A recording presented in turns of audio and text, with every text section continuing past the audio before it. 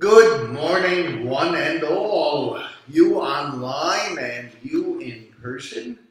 Welcome to this service of worship of the Lord Jesus Christ. Hear these words of the Lord. May the light of God's love push back the darkness.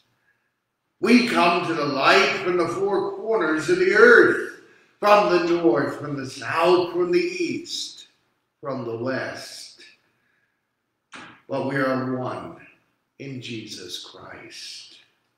We come from many nations, many cultures, but we are all one in Jesus Christ.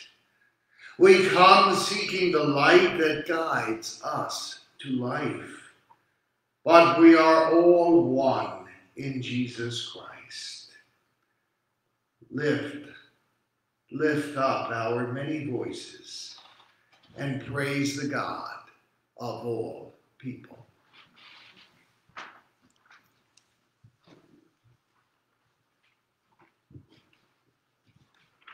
May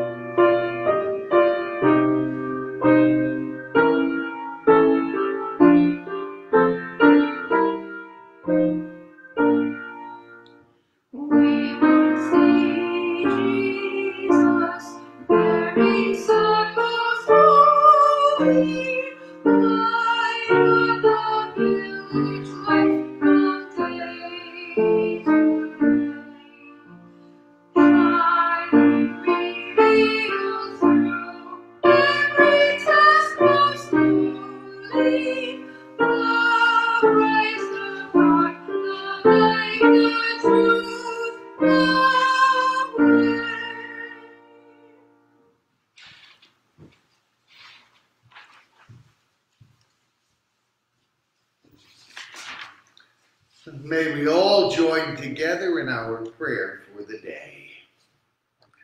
Give the king your justice, O God, that he may rule your people righteously and the poor with justice.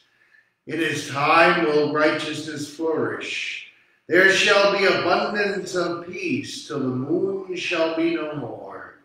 He shall rule from sea to sea and from the river to the ends of the earth. Come, let us worship God. Our hymn is number 8, verses 1, 2, and 4.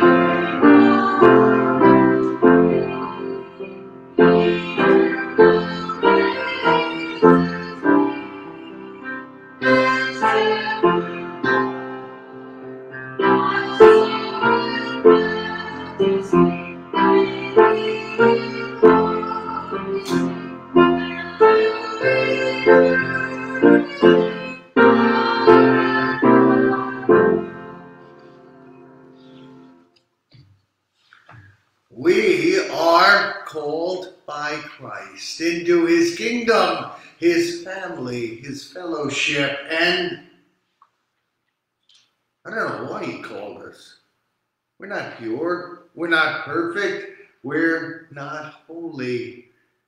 Yet he took us in even while we were still deep in sin.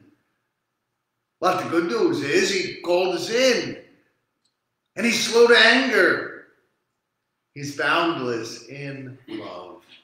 So, in that sure faith, in that total hope, let us make our confessions to God Almighty. Almighty and merciful God, we confess that we have sinned against you and one another in both our actions and our inactions. We recognize that in Jesus Christ our light has come, yet often we choose to walk in shadows and ignore the light. Gracious God, forgive our sins and remove from us the veil of darkness that shrouds our lives. Illuminated by your word and sacrament, may we rise to the radiance of Christ's glory. Amen. Let us take 30 seconds for our individual confessions.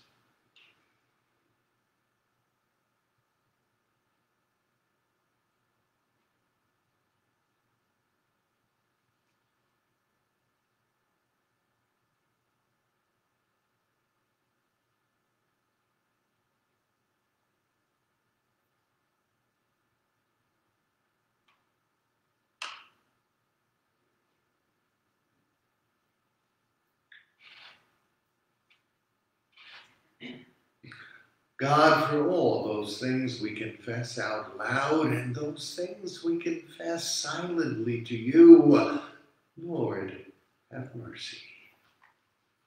And hear these words of St. Paul, who said, While we were yet sinners, Christ died for us. Now, now, possibly we would die for the righteous.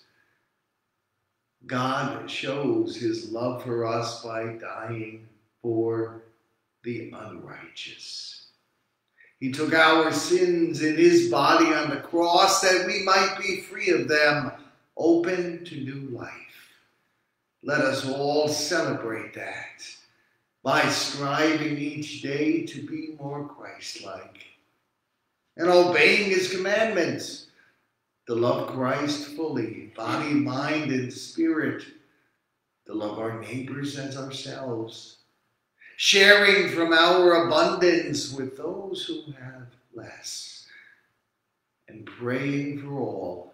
Yes, even our enemies, even those who would hate us.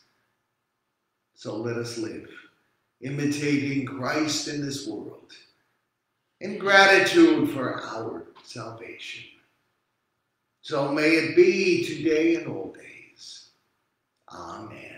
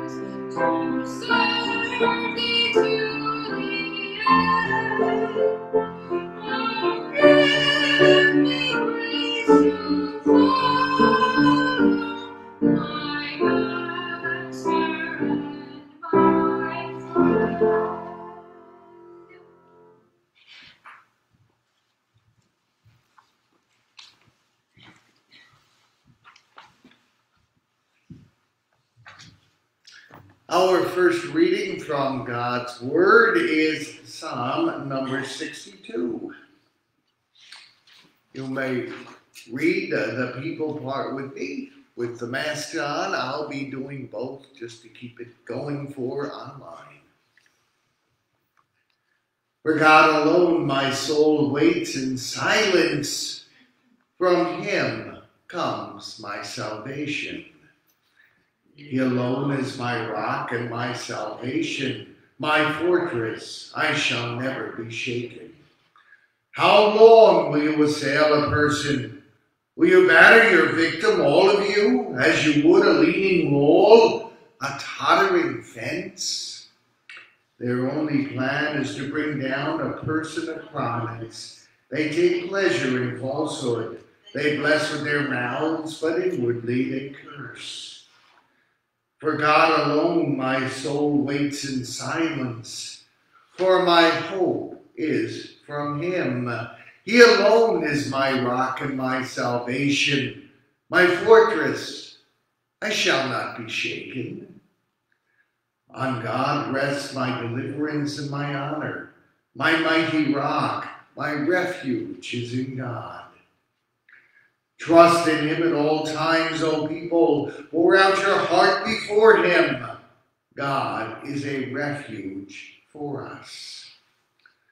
Those of low estate are but a breath. Those of high estate are a delusion. In the balances they go up. They are together lighter than a breath. Put no confidence in extortion. Set no vain hopes on robbery. If riches increase, do not set your heart on them. Once God has spoken, twice have I heard this, that power belongs to God and steadfast love belongs to you, O Lord, for you repay to all according to their work. Our second lesson written by St. Paul, his letter to the church in Corinth. I mean, brothers and sisters, the appointed time has grown short. From now on, let even those who have wives be those who have none. Those who mourn as though they were not mourning. Those who rejoice as though they were not rejoicing. Those who buy as those who had no possessions. For those who deal with the world as though they had no dealings with it. What a present form of this world is passing away. Finally, the words of the gospel of the Lord Jesus Christ. Now, after John was arrested, Jesus came to Galilee, proclaiming the good news of God saying, The time is fulfilled. The kingdom of God has come near. Repent. Believe the good news. As Jesus passed along the Sea of Galilee, he saw Simon and his brother Andrew casting a net into the sea, for they were fishermen. Jesus said to them, Follow me, I will make you fish for people. Immediately they left their nets and followed him. He went a little farther. He saw James, son of Zebedee, and his brother John, who were in the boat mending the nets. Immediately he called them. They left their father Zebedee in the boat with the hired men and followed him. This is the word of the Lord. Thanks be to God.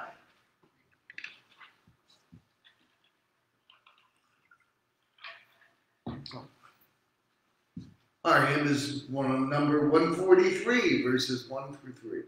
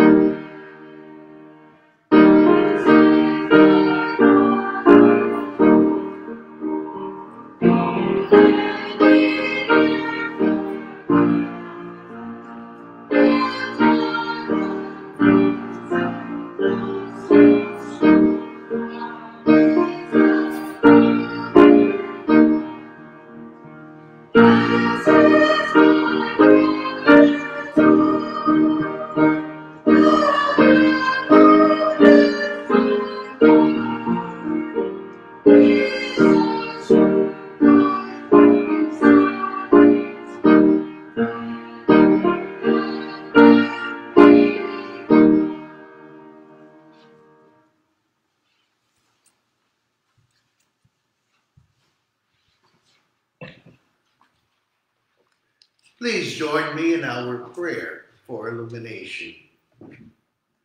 God, the source of all light, by your word you give light to the soul.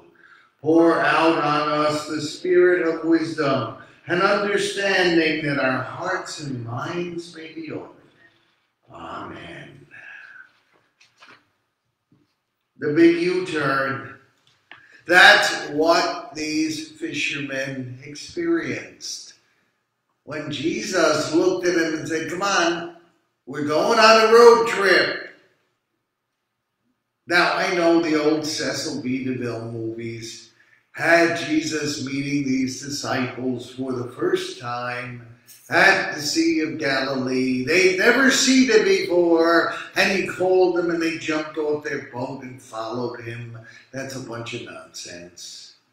No, he knew these people through John the Baptist. John's gospel is very clear on this. He had met them previously. Other gospels describe how Jesus had moved from Nazareth to Capernaum and started his ministry there. Capernaum, wow, right on the Sea of Galilee. He had had a ministry there it wasn't going on the road until John the Baptist was arrested. That was Jesus' signal. It was time to take this ministry with disciples he'd already met, who already had fellowship with. It was time to them to do something different than meeting in Capernaum. No, now they had a message to bring through the larger region of Galilee, all over northern Israel. It was time to go on the road. And these disciples had a real choice to make. Do we leave our business? Do we leave our livelihood and trust following this man we know and love, but still isn't independently wealthy. How are we going to survive doing this? No, it wasn't magical. It wasn't the first meeting, but still, it takes a lot of commitment to leave a livelihood, to leave the familiar for the unknown. Would we have the courage to do this? Would we have the faithfulness to do it? I know we romanticize this story from 2,000 years ago, but today, in the real world, how do we know, because we don't see physical Jesus, how do we know when we are called to do something for the kingdom?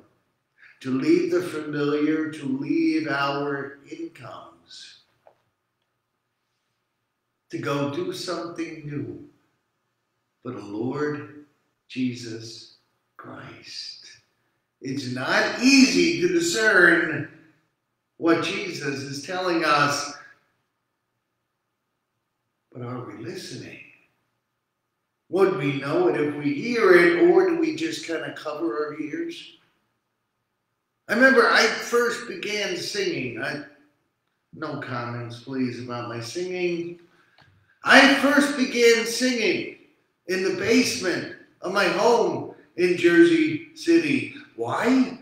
Because when you go down there in the winter, there's a lot of horror monsters who growl. I learned later it was the furnace. But it's amazing. You don't have to hear that if you're singing really loudly down the basement. Some of us sing loudly. Some of us pay attention to the world. We'd rather not hear God calling because it's scary to do something new. It's scary to leave a livelihood. Minister in upstate New York he was always getting bugged. His family thought it'd be a great idea to become overseas missionaries. He was not interested. He had one of the best prosperous churches in New York State, Synod of Albany Reformed Church in America, and a great new opportunity came along. No, not overseas mission. He got to be the head administrative officer of all of Albany Synod. Great plum job.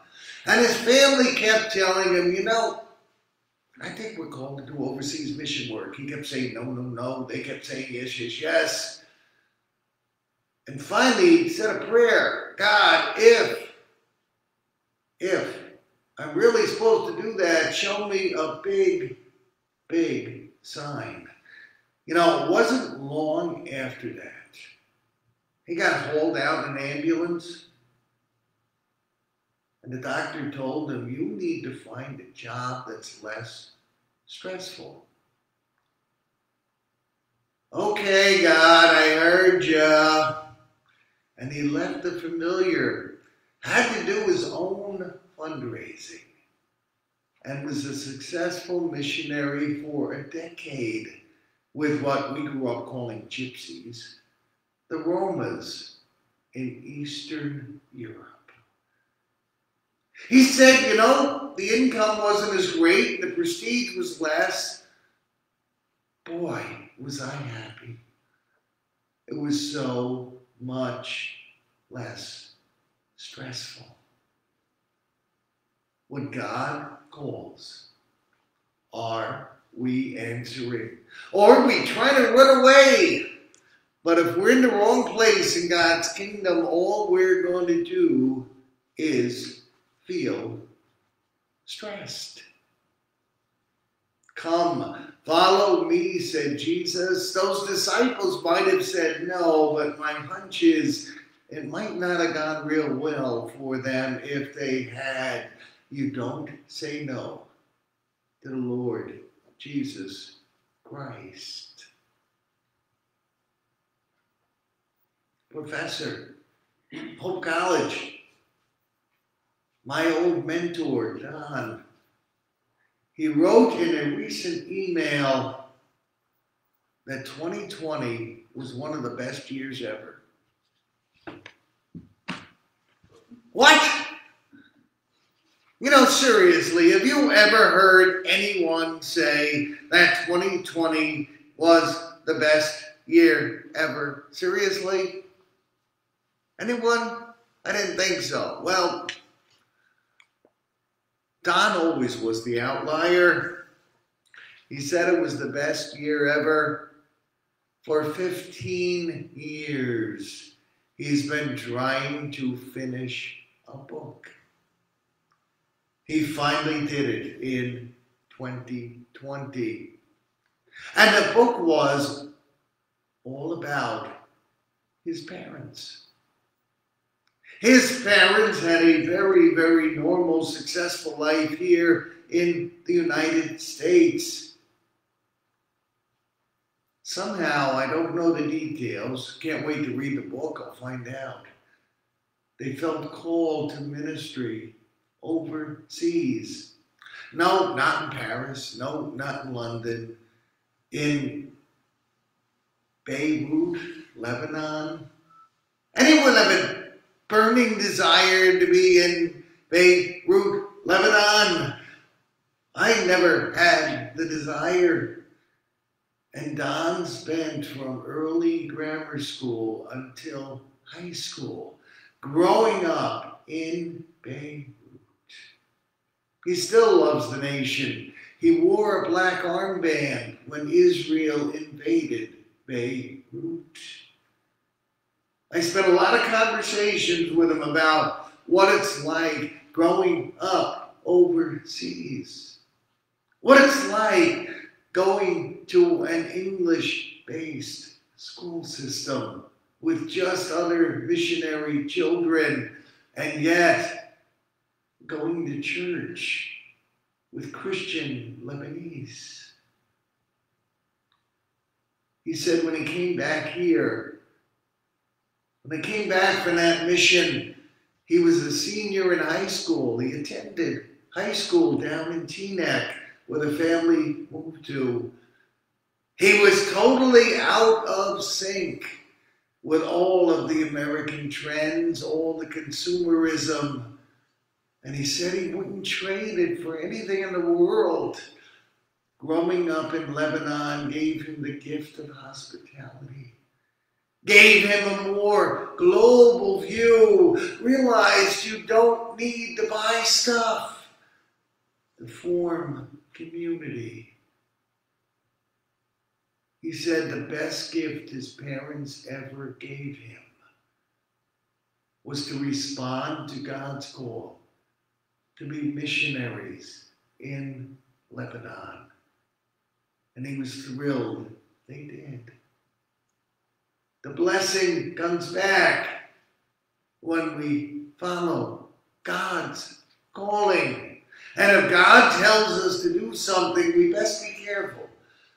It's not smart to say no to God.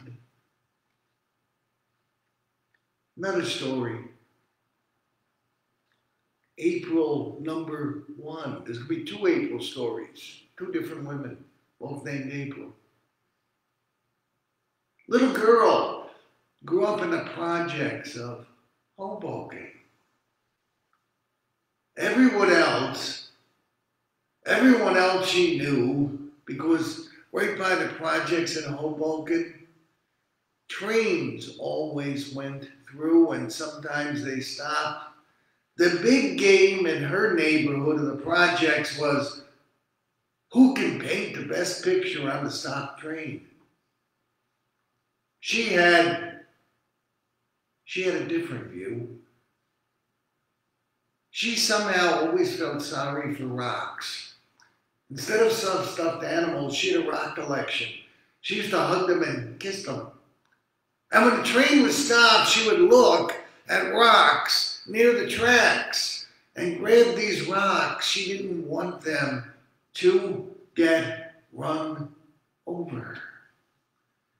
Literally, she had a bag of rocks she carried. No, this is not fiction. I know it sounds crazy. It's like Charlie Brown's Halloween, where he gets a bag of rocks. She used to carry a bag of rocks with her because she wanted to take them home. They might get cold outside. She'd taken them to church with her so they could hear the prayers. Well, she got older and she felt God was calling her to do something. And she looked at, it. she looked at the single mothers in her neighborhoods. That someone needs to care for them. And she went church to church to church to church and said, We all need to care for these single mothers. And because of her persistence, some people said because she drove us crazy, we had to say no to get rid of her. She set up the first food pantry on the west side of Hoboken caring for rocks. That was her first calling. And it morphed into caring for people. You know, the food pantry's still there. Hoboken Food Pantry. And yes, April is still leading it. How many years later? She's a smart woman. She could have gotten 12 degrees and made a fortune. God didn't call her for that. God called her to use her compassion to feed those in need. And she did it. And she still does it. She does it well. What's God calling us to do? Second April April had a very, very comfortable life down in Virginia, enjoying herself. Then she started reading about human trafficking. In the third world countries, how many young girls were promised jobs as maids or wait staff and wound up getting forced into other industries? It burned her. It burned her heart. It burned her husband's heart. The two of them said, Oh God, you won't get this thought out of my head, will you? The two of them were the ones who founded House of Hope in Nicaragua. Remember, April was here with us. Pam was there in Managua ministering to women in brothels. She didn't come back. She didn't go there temporarily and come back. No, she and her husband live in the House of Hope in Managua, Nicaragua. Now, trust me, folks, I'm not interested in living in Lebanon. I really have no desire to live in Nicaragua. I hope God doesn't call me to those places. She probably didn't choose that either. She'd probably never heard of Managua, Nicaragua until God put it in her head. There's a problem here with trafficking. And yeah, there's poverty. Yeah, there's social unrest. She did her first video this past week from Managua since the plague. You know, I've never seen a woman look happier. With all the harsh things she sees, she's doing God's work in a completely different way than her lifestyle here in the United States. Boy, what a happy person. Remember Dr. Carice was here? Dr. Carice sang a concert for us. She came from a small town out in the Midwest, and God kept putting it into her head. She was going to do something great. She was going to do something great. She was going to do something great. And she discovered what it was her singing, her acting. She came to New York. She was a Broadway singer, dancer. And God still had that in her head. You're going to do something great. You're going to do something great. And she'll find what the heck is it? And she read a story about the Hope Ship, that medical ship that needed volunteers. Well, she volunteered and realized the people who did the most good were physicians. So Carice said, well, I guess I got to be a doctor. How many people, after one career, decide to go to med school? That's a game for the young, isn't it? Well, she's still young, but not that young. She went to med school, became a physician, went to a residency, became a gynecological surgeon. Okay, God, what great thing do you want me to do? Twice a year, she gives up a month's income to travel around the world bringing medical care free of charge. That's where we met her. She was in Nicaragua with Pam. And she's been to Calcutta. She's been to Russia. She taught surgical techniques in a, literally a field tent in Africa.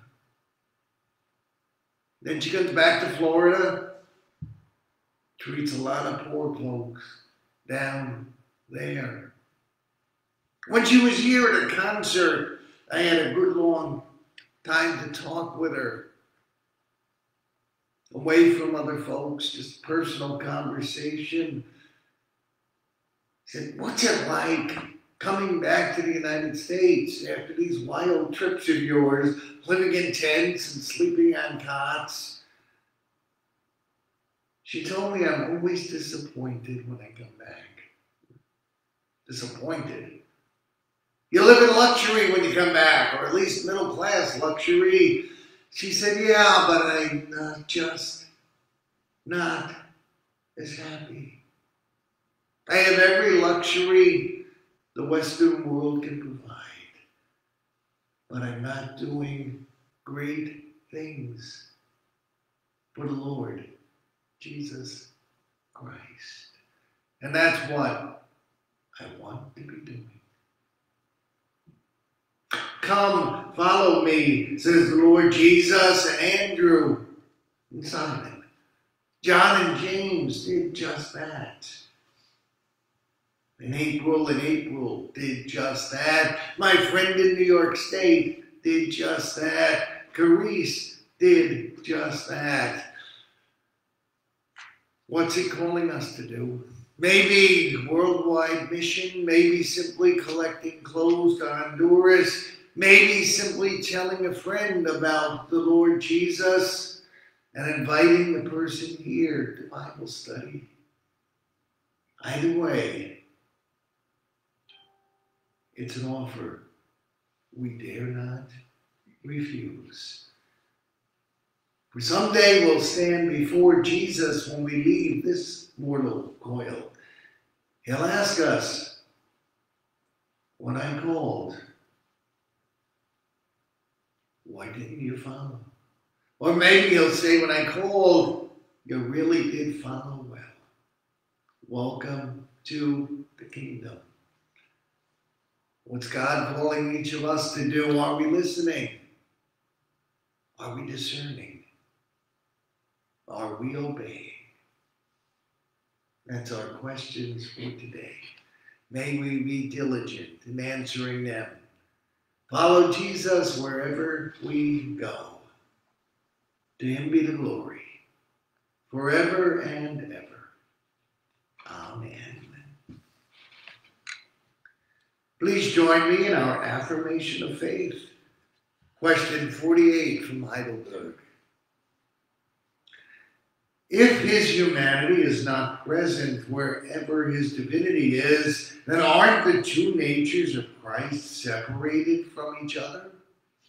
Certainly not. Since divinity is not limited and is present everywhere, it is evident that Christ's divinity is surely beyond the bounds of the humanity that he has taken on. But at the same time, his divinity is in and remains personally united to his humanity.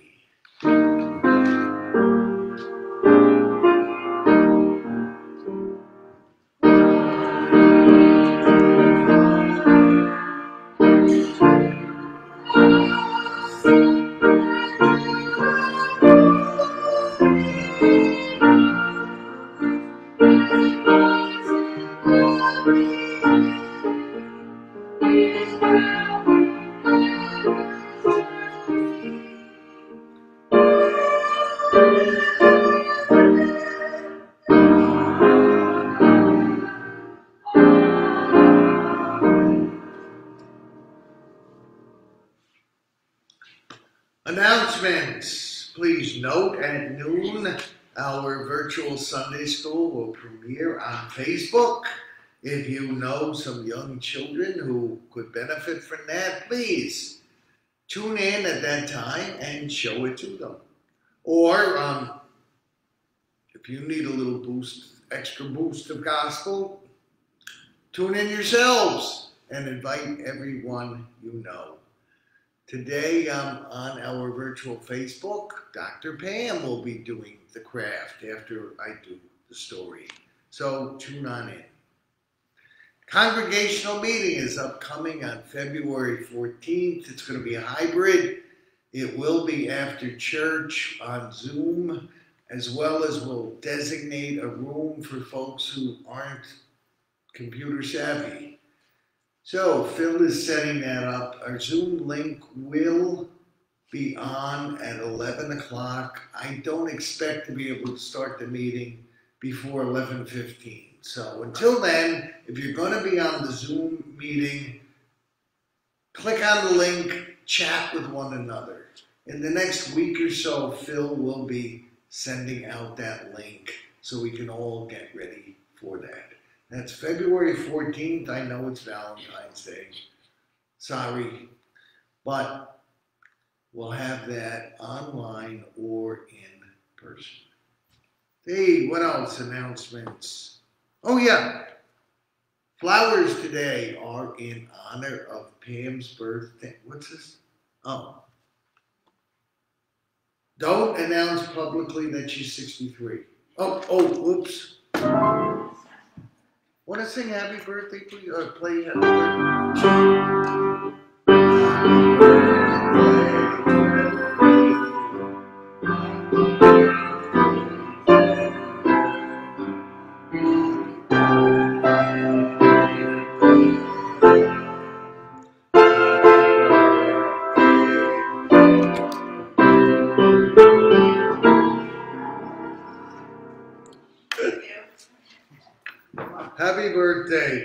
It could be a cold afternoon today. It's about time for offerings. If you if you have any, please leave it in the plate in the back. Of course, you can mail in your checks or use the Tithely link that's on the church website. Even though we uh, we're not open as much for business as we usually have been with the plague, our expenses continue. Please give as the Lord has given you the ability. Thank you.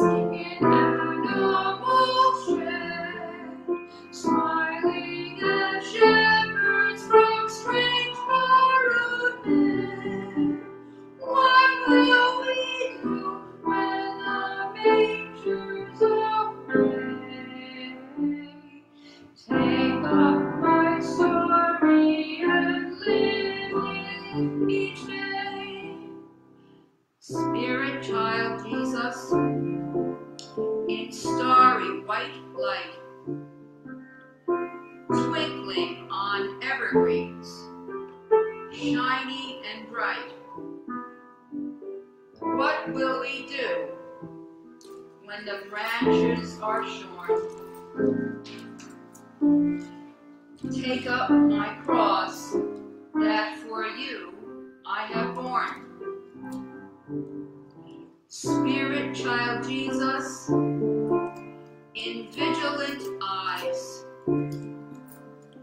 waiting the gift bearing, shiny and bright.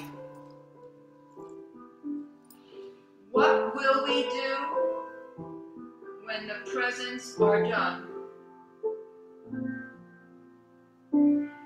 Take up my presents for I am God's Son. Spirit, child Jesus, in hot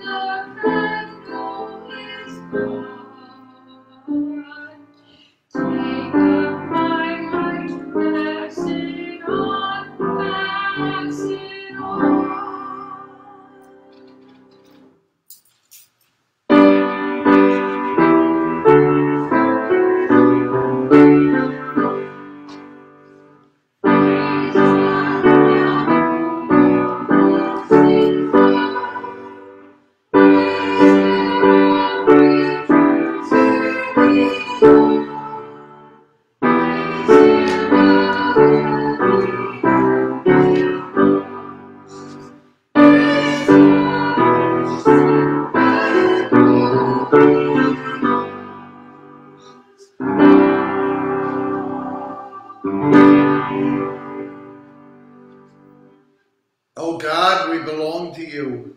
We bring our offerings to your throne. Bless them and bless us and make us acceptable for your service. Give us great things to do for you and your kingdom. In Jesus' name we pray. Amen. In your prayers this week, please continue to pray for Alice, Bruce, and Brian.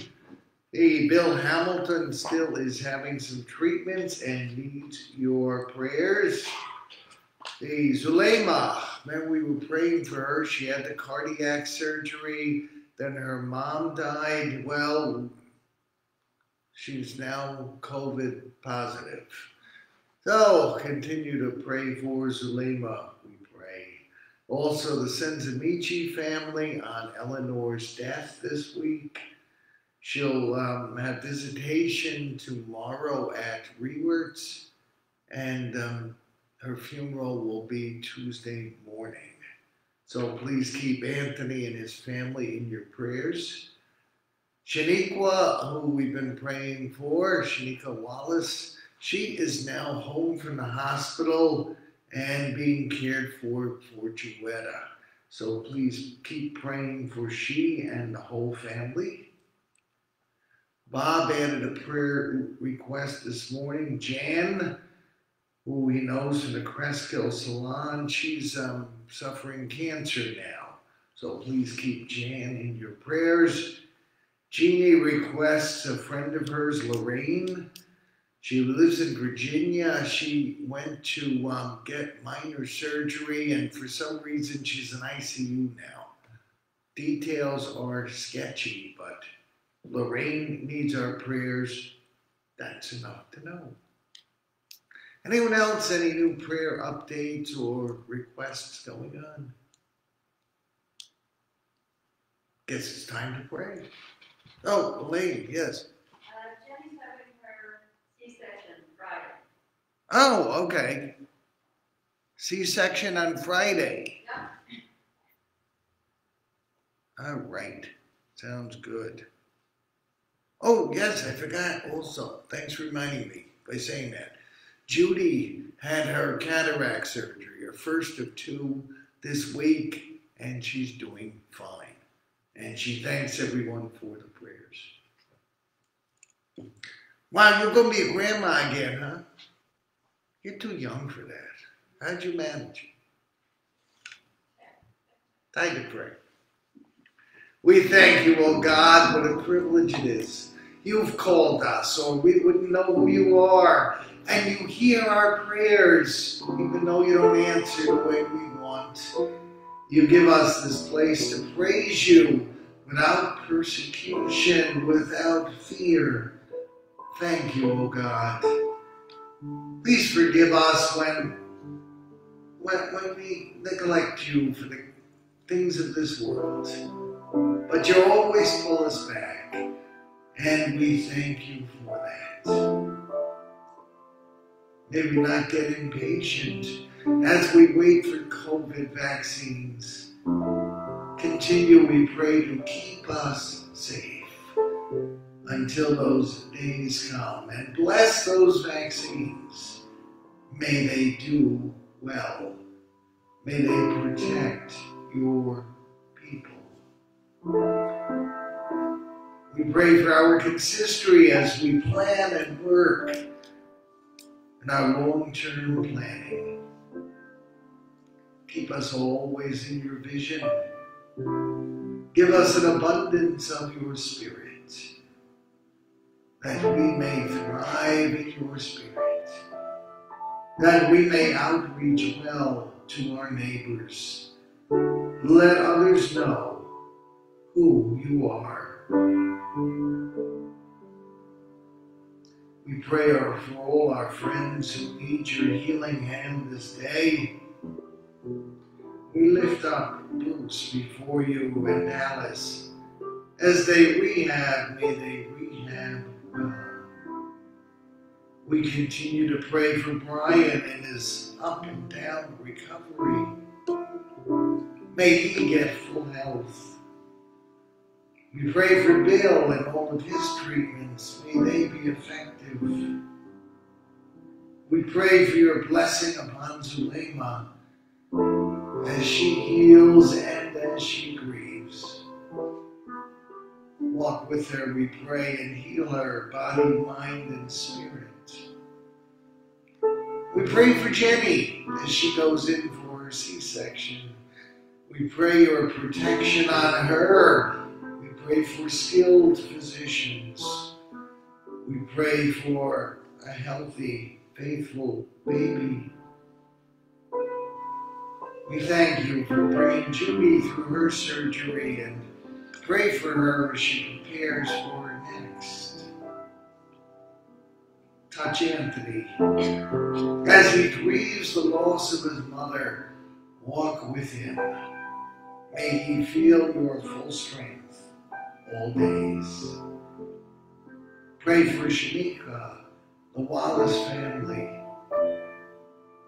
Bless them with your spirit. May that family find the strength beyond the comprehension. Show us a miracle. Show us full healing, we pray. Likewise, we pray for Jan now and. Touch them, heal them. May they find good health once more. And may they, may they acknowledge your hand in their healing. Give you praise and glory. Walk with us this week, O God, as we seek to do your. Call us. Give us the ability to respond. Give us the strength to do your will and do it well. For these and all things we pray in one name, the Lord's name, our Savior, Jesus Christ, as we remember what he taught us. Our Father, who art in heaven, hallowed be thy name. Thy kingdom come, thy will be done, on earth as it is in heaven. Give us this day our daily bread, and forgive us our debts, as we forgive our debtors. And lead us not into temptation, but deliver us from evil. For thine is the kingdom, the power, the glory forever. Amen. Our final hymn is number 45, verses 1, 2, and 4.